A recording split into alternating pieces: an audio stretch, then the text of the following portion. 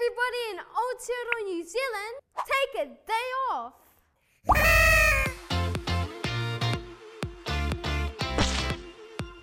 You get a day off, you get a day off, you get a day off. And it's all because of this. But not everyone here celebrates Waitangi Day like it's a party. And I'm gonna tell you why.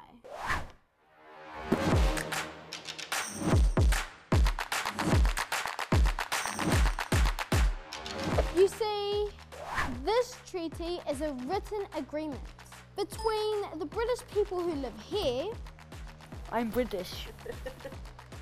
and the Maori people who are the first settlers and discoverers of Aotearoa here. The plan was that we would all live happily together on our whenua and coexist in a pretty cool way. So, a treaty was written on this very day, way back in 1840.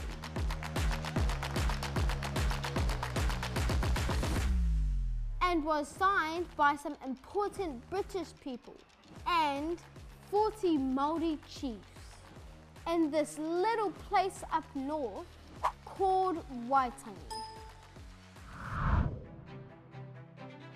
And copies were sent all around Aotearoa to be signed by eventually 500 Maori chiefs. And the treaty became real life law.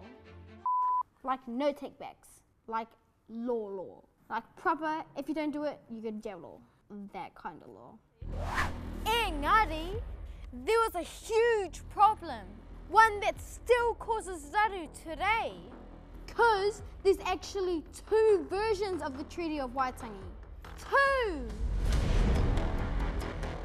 The English version and the version translated into Te Reo Māori by these two. Henry Williams and his son Edward, two British missionaries.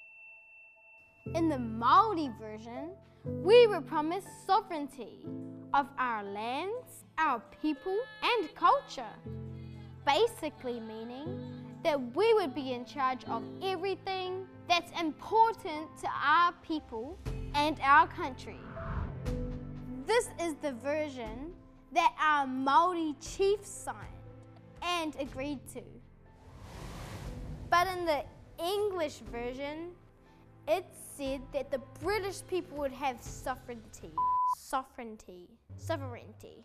Ah, sovereignty. How is it spelled?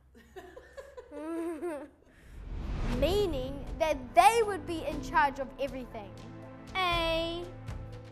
This began many wars because Maori people were promised something, but that's not what the British did. They stole our land, killed a lot of our people. They even banned our language from schools, our medicines, our practices, and tried to break our wairua. And we're not the only ones too. Our whānau from all over the world are fighting for their treaties to be honoured as well. Which is not on people. I know that isn't right, and I'm just a kid.